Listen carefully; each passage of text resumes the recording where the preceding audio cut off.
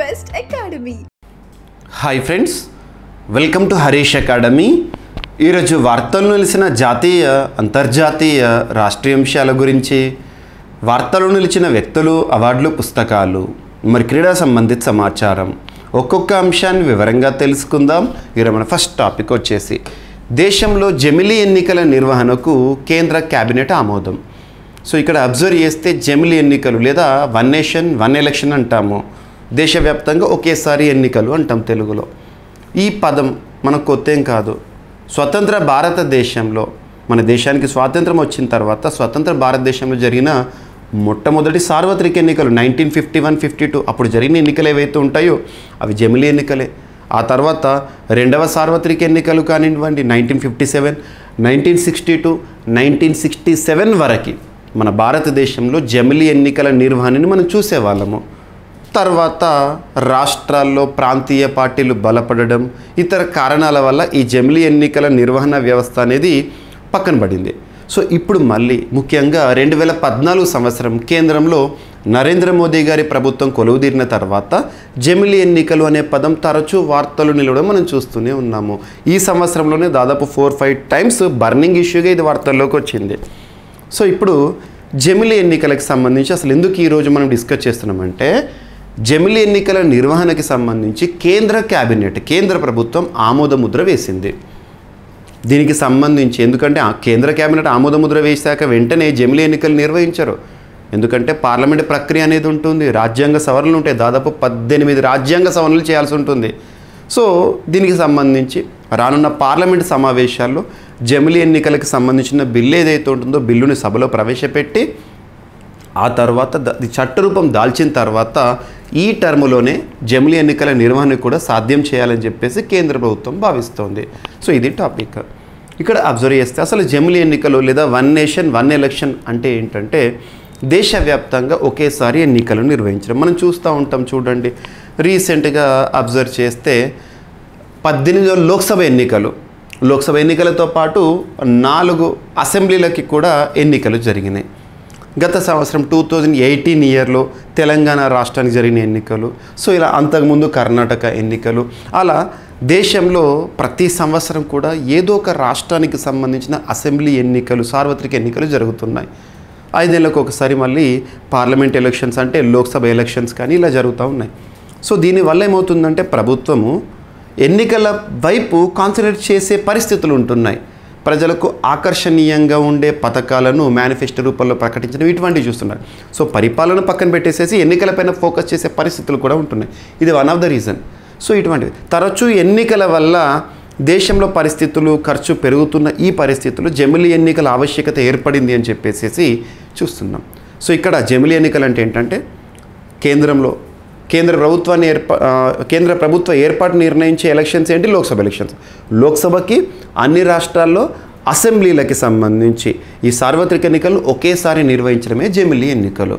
So ఈ జమిలీ ఎన్నికలు స్వతంత్ర భారతదేశంలో మొదట్లో ఉండేవి నైన్టీన్ సిక్స్టీ సెవెన్ వరకు తర్వాత వ్యవస్థ అనేది దారితప్పింది ఇప్పుడు మళ్ళీ జమిలీ ఎన్నికలు నిర్వహించడానికి కసరత్తు జరుగుతుంది. దీనికి సంబంధించి దేశంలో మరి జమిలీ ఎన్నికల నిర్వహణ సాధ్యాసాధ్యాలపై మీరు పరిశీలించండి అని చెప్పేసేసి గత సంవత్సరం రెండు వేల ఇరవై మూడు సంవత్సరం సెప్టెంబర్ రెండవ తేదీన భారత మాజీ రాష్ట్రపతి రామ్నాథ్ కోవింద్ గారి ఆధ్వర్యంలో ఒక కమిటీని కూడా ఏర్పాటు చేసింది కేంద్ర ప్రభుత్వం. ఆ కమిటీ ఈ ఇయర్ రెండు వేల ఇరవై నాలుగు సంవత్సరం మార్చ్ రోజున మార్చిలో నివేదికను కూడా సమర్పించింది రాష్ట్రపతి గారికి. అందులో దాదాపు పద్దెనిమిది వేల ఆరు వందల ఇరవై ఆరు పేజీలతో కూడిన సమగ్ర నివేదికను సమర్పించారు. వాటి అధ్యయనం పూర్తయిపోయింది. ఇప్పుడు ఆ రామ్నాథ్ కోవింద్ గారి కమిటీ ఏదైతే ఉంటుందో ఇచ్చిన ఆ రిపోర్టుకి కేంద్ర కేబినెట్ ఆమోద ముద్ర వేసింది. త్వరలో జమిలీ ఎన్నికలను కూడా చూసే అవకాశాలు ఉన్నాయి. ఇక్కడ మనం ఫోకస్ చేయాల్సింది ఏంటంటే రెండు వేల ఇరవై మూడు సెప్టెంబర్ రెండున రామ్నాథ్ కోవింద్ గారి అధ్యక్షతన జమిలీ ఎన్నికల నిర్వహణ సాధ్యాసాధ్యాలపై వేయబడ్డ కమిటీలో సభ్యులు ఎవరెవరు ఉన్నారో చూద్దాం. ఫస్ట్ రామ్నాథ్ కోవింద్ గారు chief and next home minister Amit Shah గారు next Adhir Chowdhury Congress leader Ghulam Nabi Azad ex Rajya Sabha MP and Subhash Kashyap Lok Sabha secretary general మాజీ and Harish Salve senior advocate and Sanjay Kothari former CVC next N K Singh ex chairman fifteenth finance commission గుర్తుంచుకోండి. So ఇక్కడ observe చేస్తే ఈ జమిలీ ఎన్నికలకు సంబంధించి వీళ్ళ పేర్లు గుర్తుంచుకొని వీళ్ళు రిపోర్ట్ సిద్ధం చేసేసి మార్చ్ ఫోర్టీన్త్ మార్చ్ మంత్లో ఈ రెండు వేల ఇరవై నాలుగు సంవత్సరంలో రాష్ట్రపతి గారికి సమర్పించారు. సో సుదీర్ఘ చర్చలు సుదీర్ఘ పరిశీలన తర్వాత నిన్నటి రోజున కేంద్ర కేబినెట్ ఆమోదం తెలిపింది. అండ్ గుర్తుంచుకోండి ఇప్పుడు రానున్న పార్లమెంట్ సమావేశాల్లో ప్రవేశపెట్టి రాజ్యాంగ సవరణ చేయాల్సి ఉంటుంది. ఎందుకంటే దాదాపు పద్దెనిమిది అంశాలపైన సవరణ చేయాలి. Article eighty three sub clauses కానివ్వండి article one seventy two sub clauses కానివ్వండి article three twenty four part fifteen of Indian కాన్స్టిట్యూషన్లో కానివ్వండి చాలా సవరణలు ఉంటాయి. ఆ తర్వాత ఆ ప్రక్రియ ఏదైతే పూర్తవుతుందో అప్పుడు మనకి ఏ విధంగా నిర్వహిస్తారు ఇదంతా కూడా చూడాలి. అండ్ జమిలీ ఎన్నికలకు సంబంధించి మనం ఏదో ఐదు నిమిషాలు పది నిమిషాలు డిస్కస్ చేసే టాపిక్ కాదు. దీని గురించి మీకు నేను స్పెషల్ వీడియో అందించే ప్రయత్నం చేస్తాను. ఓకేనా? సో గుర్తుపెట్టుకోండి. అండ్ ఎన్పిఎస్ వాత్సల్య షురు అనే అంశం వార్తల్లోకి వచ్చింది. So pension scheme. సో చిన్నపిల్లలకి సంబంధించి పెద్దవారు పెట్టుబడి పెట్టే ఒక స్కీమ్ అని చెప్పొచ్చు. వాళ్ళు మేజర్లు అయిన తర్వాత వాళ్ళకు లబ్ధి చేకూరే విధంగా. ఈ బడ్జెట్లో రెండు వేల ఇరవై నాలుగు మన జూలై మంత్లో నిర్మల సీతారామన్ గారు ప్రవేశపెట్టిన బడ్జెట్లో ఎన్పిఎస్ వాత్సల్య గురించి ప్రత్యేకంగా ప్రకటించారు. ఈ ఆర్థిక సంవత్సరంలో ప్రారంభిస్తారు అని చెప్పేసి. సో అనుకున్న విధంగానే నిన్నటి రోజున సెప్టెంబర్ ఎయిటీన్త్ రోజున ఎన్పిఎస్ వాత్సల్య స్కీమ్ని స్టార్ట్ చేశారు. సో ప్రారంభించిన కేంద్ర మంత్రి ఆ కేంద్ర ఆర్థిక మంత్రి నిర్మలా సీతారామన్ గారు ఇక పిల్లల కోసం పెన్షన్ ఖాతాను తెరవనున్న తల్లిదండ్రులు నేషనల్ పెన్షన్ సిస్టంలో భాగంగా వాత్సల్య పథకాన్ని కేంద్ర ఆర్థిక శాఖ మంత్రి నిర్మలా సీతారామన్ గారు ప్రారంభించారు. దీంతో పెన్షన్ అకౌంట్లో మదుపు చేయడం ద్వారా తమ పిల్లల భవిష్యత్తు కోసం తల్లిదండ్రులకు పొదుపు చేసే అవకాశం దక్కుతున్నది. ఎన్పిఎస్ చాలా ఆకర్షణీయమైన రాబడులను అందిస్తుందని పిల్లల కోసం పొదుపు చేసే అవకాశం దీని ద్వారా తల్లిదండ్రులకు దొరుకుతుందని ఈ సందర్భంగా చెప్పారు. గుర్తుంచుకోండి. సో ఇక్కడ వివరాల్లోకి వెళ్తే పోస్ట్ ఆఫీస్ లేదా బ్యాంకు శాఖల్ని సంప్రదించడం ద్వారా భౌతికంగా ఎన్పిఎస్ వాత్సల్య ఖాతాను పిల్లల తల్లిదండ్రులు తెరుచుకోవచ్చు. ఆన్లైన్ ద్వారా కూడా ఎన్పిఎస్ వాత్సల్య అకౌంట్ను పొందవచ్చు. పద్దెనిమిది ఏళ్ళ దిగువన ఉన్న పిల్లల కోసం తల్లిదండ్రులు ఈ ఖాతాను ప్రారంభించవచ్చు. పిల్లలకు పద్దెనిమిది ఏళ్ళు దాటిన తర్వాత దానంతట అదే ఈ ఖాతా రెగ్యులర్గా ఎన్పిఎస్ అకౌంట్గా మారిపోతుంది. అరవై ఏళ్ళు నిండిన తర్వాతే ఖాతాదారునికి పెన్షన్ రావడం మొదలవుతుంది. ఏటా కనీస విరాళం వెయ్యితో ఈ ఖాతాను తెరవచ్చు. గత పదేళ్ళలో ఎన్పిఎస్కు one point eight six crore subscribers తయారయ్యారు. దీని నిర్వహణ కింద ఉన్న ఆస్తులు పద్దెనిమిది లక్షల కోట్లంట. ఎన్పిఎస్ వాత్సల్య ప్రారంభం కోసం పిఎఫ్ఆర్డిఏతో జట్టు కట్టిన బ్యాంకులు. అండ్ ప- ప్రస్తుతం ప్రపంచం మొత్తం కూడా రెనవబుల్ ఎనర్జీ వైపు పయనిస్తోంది. సో పునరుత్పాదక శక్తి వనరులు అని చెప్పేసి. అందులో పెట్టుబడులకు సంబంధించి గణాంకాలు. So ministry of new and renewable energy resources కేంద్ర మంత్రిత్వ శాఖ వారు విడుదల చేసిన కొన్ని గణాంకాలు ఈ ఆగస్టు మంత్ వరకు ఏ విధంగా ఉంది. పునరుత్పాదక ఇంధన వనరుల రంగంలోకి భారీ పెట్టుబడులను ఆకర్షించడం ద్వారా పెద్ద ఎత్తున ఉపాధి అవకాశాలు సృష్టించే వీలుంది. ఆగస్టు చివరి నాటికి పునరుత్పాదక ఇంధన వనరుల స్థాపిత సామర్థ్యం ఏ రాష్ట్రంలో ఎంత మేర ఉందో ఇక్కడ మనం అబ్జర్వ్ చేద్దాము. సో రాజస్థాన్లో ఎన్ని మెగావాట్ల వరకు? ఇరవై తొమ్మిది వేల ఎనిమిది వందల యాభై ఎనిమిది పాయింట్ తొమ్మిది నాలుగు మెగావాట్ల స్థాపిత సామర్థ్యం ఉందంట. నెక్స్ట్ గుజరాత్ ఇరవై తొమ్మిది వేల ఒక వంద మూడు పాయింట్ ఒకటి ఒకటి మెగావాట్లకు సంబంధించి. తమిళనాడు నెక్స్ట్ కర్ణాటక మహారాష్ట్ర ఆంధ్రప్రదేశ్ మధ్యప్రదేశ్ తెలంగాణ. సో మన తెలుగు రాష్ట్రాల పరిస్థితి ఎలా ఉందో చూడండి సరిపోతుంది. ఓకేనా? అండ్ నెక్స్ట్ జలగండం. సెంట్రల్ వాటర్ కమిషన్ వారు రీసెంట్గా విడుదల చేసిన ఒక నివేదిక. ఆ నివేదికలో ప్రస్తుతం దేశంలో తలసరి నీటి లభ్యత ఏ విధంగా ఉందట అంటే one thousand four hundred and eighty six cubic మీటర్స్గా ఉందంట రెండు వేల ముప్పై ఒకటి నాటికి ఒక వెయ్యి మూడు వందల అరవై ఏడు రెండు వేల యాభై ఒకటికి ఒక వెయ్యి రెండు వందల ఇరవై ఎనిమిది క్యూబిక్ మీటర్లకు తగనున్న నీటి లభ్యత జనాభా వృద్ధికి అనుగుణంగా నీటి లభ్యత పెరగకపోవడమే కారణం. కేంద్ర జల సంఘం తాజా అధ్యయనంలో వెల్లడి. జల సంక్షోభం ముంచుకొస్తోంది. ప్రపంచవ్యాప్తంగా తలసరి నీటి లభ్యత గణనీయంగా తగ్గుతోంది. మన దేశంలో పంతొమ్మిది వందల యాభై ఒకటి నాటికి తలసరి నీటి లభ్యత ఐదు వేల ఒక వంద డెబ్బై ఏడు క్యూబిక్ మీటర్లు ఉంటే ప్రస్తుతం ఒక వెయ్యి నాలుగు వందల ఎనభై ఆరు క్యూబిక్ మీటర్లకు తగ్గిందంట. ఇది రెండు వేల ముప్పై ఒకటి నాటికి ఒక వెయ్యి మూడు వందల అరవై ఏడు క్యూబిక్ మీటర్లకు రెండు వేల యాభై ఒకటి నాటికి ఒక వెయ్యి రెండు వందల ఇరవై ఎనిమిది క్యూబిక్ మీటర్లకు తగ్గుతుందని కేంద్ర జల సంఘం సెంట్రల్ వాటర్ కమిషన్ వారు చెప్పిన అంశము. ప్రపంచంలో భూమిపై ఉన్న నీటిలో ఉప్పు నీరు ninety seven point five percent ఉంది మంచినీరు టూ పాయింట్ ఫైవ్ పర్సెంట్ మాత్రమే.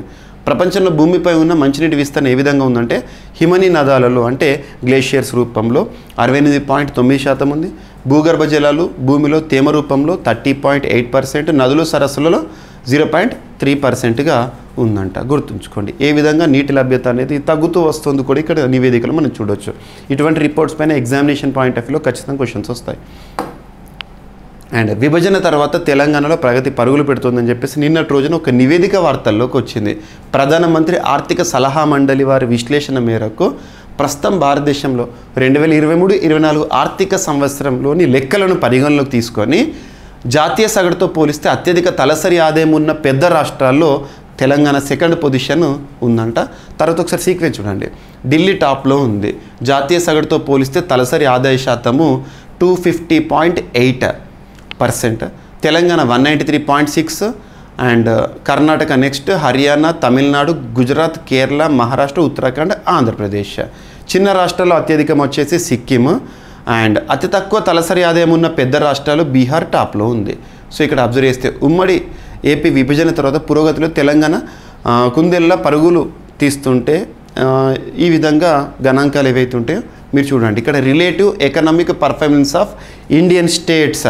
Nineteen sixty sixty one to twenty twenty three twenty twenty four పేరుతో రీసెంట్గా ప్రధానమంత్రి ఆర్థిక సలహా మండలి వారు విడుదల చేసిన నివేదికలో ఈ గణాంకాలు అనేవి ఇవ్వడం జరిగింది. గుర్తుంచుకోండి. సో మీకు ఇవన్నీ కూడా నేను మన పర్సనల్ వాట్సాప్ ఛానల్లో పోస్ట్ చేస్తున్నాను. చూడండి ఒకసారి. ఫలితం ఇవ్వని యాంటీబయాటిక్స్ తాజా నివేదిక ల్యాన్సెట్ జర్నల్ వారు విడుదల చేసిన నివేదికలు చెప్తున్నారు. అవి పనిచేయక పంతొమ్మిది వందల తొంభై నుండి ఇరవై ఒకటి వరకు రెండు వేల ఇరవై ఒకటి మధ్య ఏటా పది లక్షల మంది మృతి అట. యాంటీబయాటిక్స్ యాంటీబయాటిక్స్ విపరీతంగా వాడుతూ ఉంటారు కొంతమంది. సో చాలా డేంజర్ సో వాటి విషయంలో ఇక్కడ ఒక నివేదిక. విచ్చలవిడిగా యాంటీబయాటిక్స్ వాడటం వల్ల ఆ మందులను తట్టుకునే శక్తిని రోగకారక antibiotics పనిచేయక nineteen ninety twenty twenty one మధ్యకాలంలో ప్రపంచవ్యాప్తంగా ఏటా పది లక్షల మందికి పైగా మరణించారంట.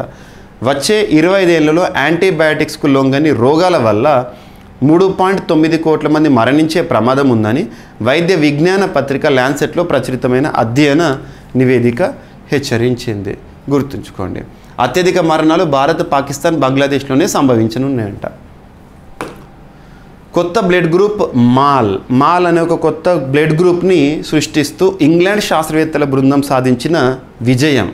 సో ఇంగ్లాండ్ శాస్త్రవేత్తల బృందం కొత్త బ్లడ్ గ్రూప్ను కనిపెట్టింది. దీన్ని మాల్గా వ్యవహరిస్తున్నారు. నైన్టీన్ సెవెంటీ టూలో గుర్తించిన ఏఎన్డబ్ల్యూ యాంటీజెన్ ప్రోటీన్కు కారణం ఈ బ్లడ్ గ్రూపేనని ఇంగ్లాండ్లోని ఎన్హెచ్ఎస్ యూనివర్సిటీ ఆఫ్ బ్రిస్టల్ శాస్త్రవేత్తలు తెలిపారు. తాజా పరిశోధనతో యాభై ఏళ్ళ మిస్టరీని ఛేదించామన్న పరిశోధకులు క్లిష్టమైన చికిత్సలు రక్త మార్పిడిలు ఏర్పడే సమస్యకు ఈ బ్లడ్ గ్రూపు పరిష్కారం వెతుకుతుందంట. గుర్తుంచుకోండి మాల్ యాభై ఏళ్ళ మిస్టరీని ఛేదించిన ఇంగ్లాండ్ శాస్త్రవేత్తలు. అండ్ రాష్ట్రీయ అంశాలు కనుక పరిశీలిస్తే ఆంధ్రప్రదేశ్ రాష్ట్రానికి సంబంధించి నూతన మద్యం పాలసీ అనేది వార్తల్లోకి వచ్చింది. సో నిన్నటి రోజున చంద్రబాబు నాయుడు గారి ఆధ్వర్యంలో క్యాబినెట్ తీసుకున్న నిర్ణయం. సో ఏపీలో కొత్త మద్యం విధానానికి రాష్ట్ర మంత్రివర్గం ఆమోదం తెలిపింది. నాణ్యమైన మద్యం బ్రాండ్లు అందుబాటులోకి ఉంచాలని సగటు మద్యం ధర తొంభై తొమ్మిది నుంచి ఉండాలని నిర్ణయించారు. భోగాపురం విమానాశ్రయానికి అల్లూరి సీతారామరాజు విమానాశ్రయంగా పేరు మార్చాలని మంత్రివర్గం నిర్ణయించింది. గుర్తుంచుకోండి. సో ఇటీవల కాలంలో పేరు మార్పు అనే అంశాలు తరచు వార్తల్లోకి వస్తున్నాయి. సో భోగాపురం ఎయిర్పోర్ట్ కాస్త ఇప్పుడు మనము అల్లూరి సీతారామరాజు ఎయిర్పోర్ట్గా చూడబోతున్నాము. అండ్ తెలంగాణ రాష్ట్రానికి సంబంధించి కూడా పేర్లు. రీసెంట్గా కోటి విమెన్స్ యూనివర్సిటీకి చాకలి ఐలమ్మ గారి పేరుని రాష్ట్ర ప్రభుత్వం ప్రతిపాదించింది అమలులోకి తీసుకువచ్చారు. ఇక తెలంగాణ రాష్ట్రంలోని తెలుగు విశ్వవిద్యాలయం ఉంది కదా ఆ విశ్వవిద్యాలయానికి సురవరం ప్రతాపరెడ్డి గారి పేరుని పెట్టే విధంగా రేపటి రోజున క్యాబినెట్ తీసుకోనున్న నిర్ణయం. సో హైదరాబాద్లోని తెలుగు విశ్వవిద్యాలయానికి ప్రసిద్ధ కవి పరిశోధకుడు ఉద్యమకారుడు పత్రికా సంపాదకుడు సురవరం ప్రతాపరెడ్డి గారి పేరును పెట్టనున్నారు. ఈ మేరకు సెప్టెంబర్ ఇరవైన జరగనున్న మంత్రివర్గంలో ఆమోదం తెలపనున్నారు. అండ్ తెలంగాణ రాష్ట్రానికి సంబంధించి రాష్ట్ర ఎన్నికల కమిషనర్గా రాణి కుమిదిని అండ్ విజిలెన్స్ కమిషనర్గా ఎంజీ గోపాల్ గారు.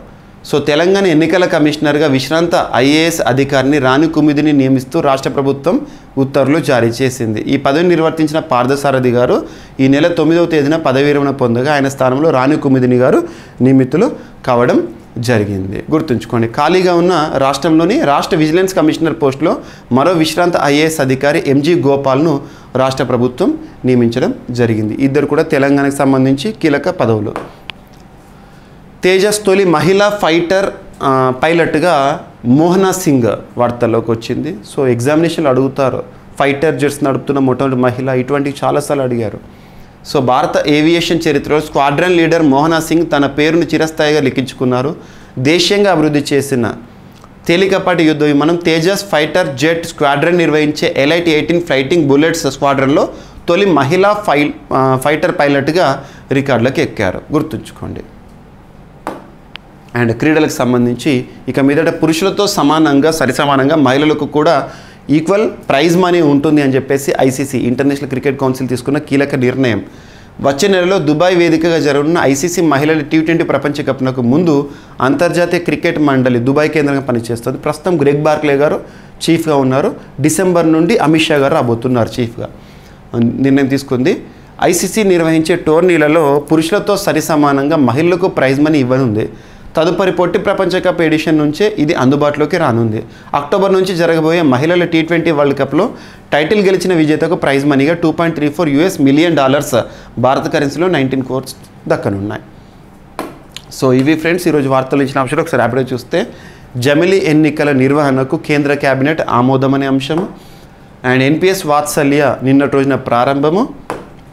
అండ్ పునరుత్పాదక శక్తి వనరులకి సంబంధించి స్థాపిత సామర్థ్యం ఏ విధంగా ఉంది అని చెప్పేసి అండ్ ప్రస్తుతం దేశంలో తలసరి నీటి లభ్యత తగ్గిపోతుందని చెప్పేసి సెంట్రల్ వాటర్ కమిషన్ నివేదిక అండ్ భారతదేశంలో ప్రధానమంత్రి ఆర్థిక సలహా మండలి గారి విశ్లేషణ మేరకు తలసరి ఆదాయం ఎక్కువగా ఏ రాష్ట్రాల్లో ఉన్నాయని చెప్పేసి ఫలితం ఇవ్వని యాంటీబయాటిక్స్ అని చెప్పేసి ల్యాన్సెట్ రిపోర్ట్ కొత్త బ్లడ్ గ్రూప్ మాల్ ఇంగ్లాండ్ శాస్త్రవేత్తల పరిశోధన నూతన మద్యం విధానానికి ఆంధ్రప్రదేశ్ రాష్ట్ర క్యాబినెట్ ఆమోదముద్ర తెలుగు విశ్వవిద్యాలయం హైదరాబాద్లో ఉన్న విశ్వవిద్యాలయానికి సురవరం ప్రతాపరెడ్డి గారి పేరు.